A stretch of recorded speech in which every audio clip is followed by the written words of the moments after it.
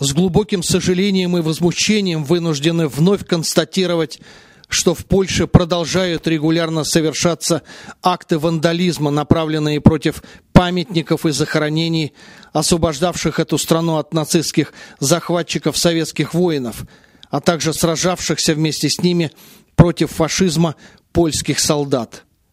Глумление над их памятью становится в последнее время обыденным явлением – причины которого кроются в проводимой некоторыми польскими политиками и средствами массовой информации откровенной антироссийской кампании и намеренной фальсификации ими исторических событий. Так только в феврале 2015 года были осквернены могилы на кладбище военнослужащих Красной Армии в городе Калиш, Великопольское воеводство – разбита памятная плита воинам-освободителям в городе Александров-Лодзинский, Лодзинское воеводство. Изуродован памятник польским и советским десантникам в гмине Любаш, Великопольское воеводство. Причем в последнем случае не обошлось без кощунства. У статуй солдат были оторваны головы вызывает особую обеспокоенность и полнейшее неприятие тот факт, что к войне с памятниками Второй мировой войны активно подключились польские власти.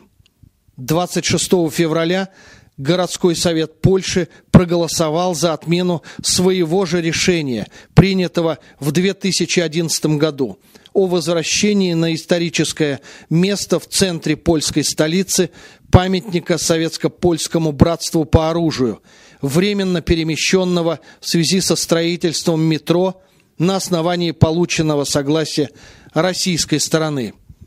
Мы считаем, что издевательство над памятью о людях, отдавших жизнь за свободу и независимость польского народа, несовместимо с принципами, на которых базируется цивилизованное общество.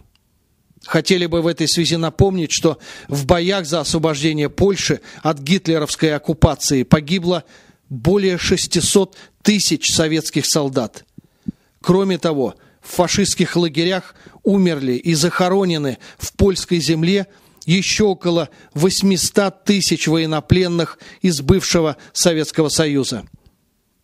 Мы ожидаем от польской стороны официальных разъяснений по упомянутым инцидентам и твердо требуем обеспечения безусловного соблюдения всех двухсторонних договоренностей, включая соглашение между правительством Российской Федерации и правительством Республики Польша о захоронениях и местах памяти жертв войн и репрессий от 22 февраля 1994 года, а также принятие исчерпывающих мер, направленных на пресечение и предотвращение случаев вандализма в будущем – поиска и наказания виновных.